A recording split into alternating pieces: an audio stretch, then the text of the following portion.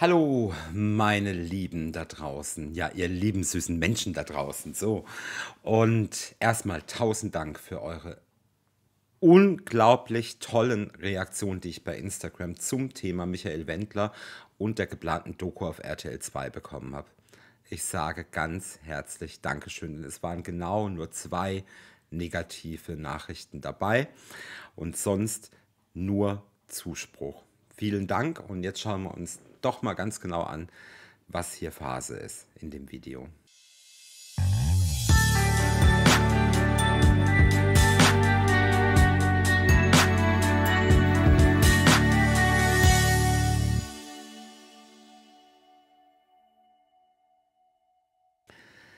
Ja, meine Lieben, fangen wir mal an, wirklich mit ähm, den Schlagzeilen, dass hier der Wendler eine Sendung bekommt, ja.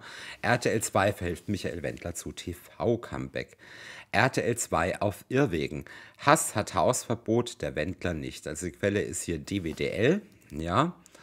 Und ähm, denke, dass man hier wirklich ganz gut nachsehen kann, was überhaupt immer so Phase ist bei den verschiedenen Fernsehsendern, ja. So, die blumige Überschrift Michael Wendlers Babyglück auf RTL 2. So. Ähm, Im Grünwald hat man offenkundig all die Skandale der Vergangenheit vergessen. Dass Wendler nahezu alle Fernseher als gleichgeschaltet und politisch gesteuert bezeichnete, egal. Dass er Corona-Schutzmaßnahmen mit KZs verglich, wurscht. Dass er antisemitische und rechtsextremistische Aussagen auf seinem Telegram-Account teilte, alles vergessen. Und das ist eben das, wo ich sage, ich muss hier eine Kerze der Erinnerung sein und auch bleiben, alleine mit meinem Vermächtnis und dass zwei Drittel meiner Vorfahren im Holocaust umgekommen sind. Und das ist einfach keine Kleinigkeit. Da muss ich schlicht und ergreifend sagen, auch er, der Wendler, hat ja nochmal in einem Statement, das seine Frau Laura bei Instagram gepostet hat, gesagt, gebt uns eine Chance, ich bin ja nur Sänger. Nein, ich finde, dass da eine Chance komplett vertan ist. Und da gibt es auch nichts mehr gut zu reden. Und ich finde, das ist meine Aufgabe, klar, natürlich als, als Jude natürlich auch, ähm, und natürlich mit meiner Vorgeschichte, dass ich hier empfindlicher auf solche Themen reagiere, ja. Allerdings finde ich eben auch, dass wenn man Meinungsblocker ist, hier eine Meinung zu haben sollte. Denn jedes Schweigen ist eine indirekte Zustimmung zu diesem Thema. Und wenn ich meine, Meißung, meine Meinung zu jedem Käse äußere, ja, und auch das kleinste Staubkorn zu einer Wolke aufblase, um irgendwie ein bisschen Clickbaiting zu betreiben oder sich künstlich darüber aufzuregen. Da hat man jetzt mal Grund, sich aufzuregen. Und ich muss auch an dieser Stelle sagen, hinterfragt wirklich die Seiten und die Profile, die zu dieser Thematik schweigen. Denn Schweigen ist in diesem Falle Zustimmung, Leute. Und das kann ich einfach auch nur so sagen. Deshalb ähm, boah, bin ich da bass erstaunt. Und klar bin ich jetzt mit RTL, bei RTL 2 eine Person an und gerade, aber nicht bei RTL. Denn RTL stellte sich ja hier in diesem Falle, ähm, blieb RTL der Linie treu. Und ich weiß, dass es gestern bei RTL ganz großes Thema war. Das habe ich heute Morgen nochmal von meinem RTL-Kontakten gehört, dass es ganz großes Thema war, dass RTL diese Sendung nicht zeigen wird in der Mediathek RTL Plus und weder vor noch nach der Ausstrahlung. Und dieses Statement ging auch raus, ne? denn RTL ordnet das ganz genau richtig ein und distanziert sich von der Person Wendler mit allem Ganzen. Und da muss man jetzt einfach sagen, dass zum Beispiel ja auch ein Chris Töpper-Wien sich sehr klar positioniert hat, dass sich die Geissens bereits bei Instagram geäußert haben und gesagt haben, also wir distanzieren uns da davon und wenn es uns die Sendung kostet, ist es uns dann eben auch egal. Ich sehe gerade, ich habe hier den Dinger hier drin, so es störte mich. ähm, ja, Leute, das ist ein wichtiges Thema. Das ist ein wichtiges Thema. Es gibt auch eine Petition Und die werde ich auch unter dem Video verlinken.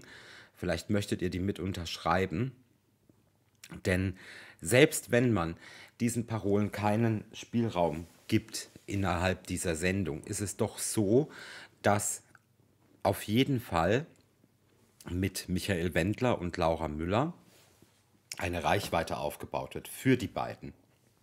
Und die können jetzt sagen, okay, Telegram-Kanal erstmal tot, erstmal das, so. Ähm, wir schweigen jetzt, bis die Ausstrahlung rum ist, dann sammeln wir schön viel neue Leute bei uns ein und können die dann wiederum von unserem Gedankengut überzeugen.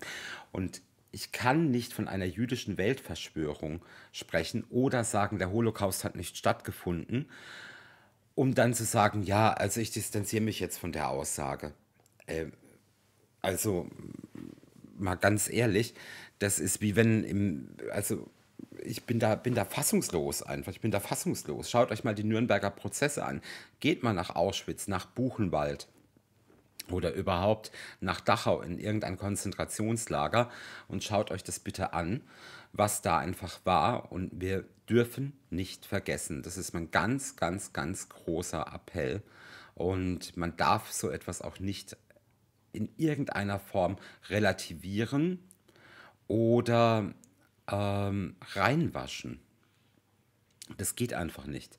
Dann fehlt die nächste Show mit Attila Hildmann, ja, und, und, und. Also es gibt zu viel Gedankengut, auch zu viel rechtes Gedankengut, auf das wir verzichten können, denn das ist gefährdet unsere Demokratie und das Ganze ist einfach gefährlich, wenn ich so einer Person eine Plattform gebe, biete und auch wenn ich diese Aussagen außen vor lasse, man weiß nie, was kommt im Nachhinein. Es kann das nächste Thema kommen, auf das er sich dann stürzt.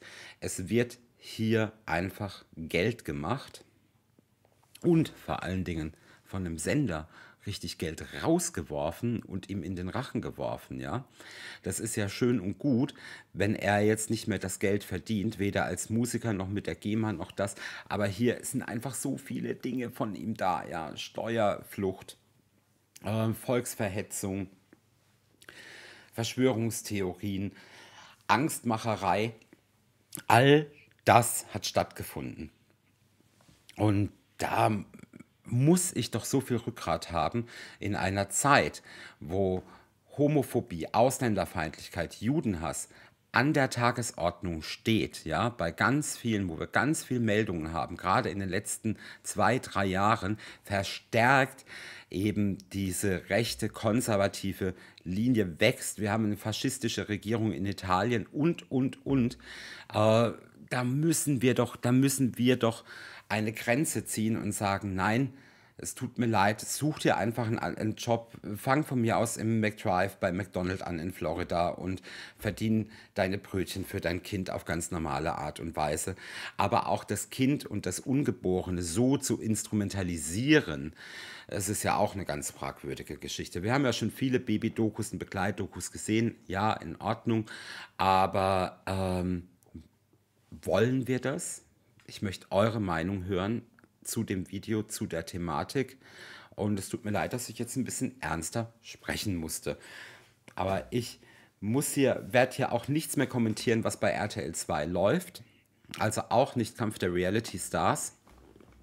Denn keine Aufmerksamkeit sollte diesem Sender weiter gegeben werden oder geschenkt werden. In dem Sinne, ciao.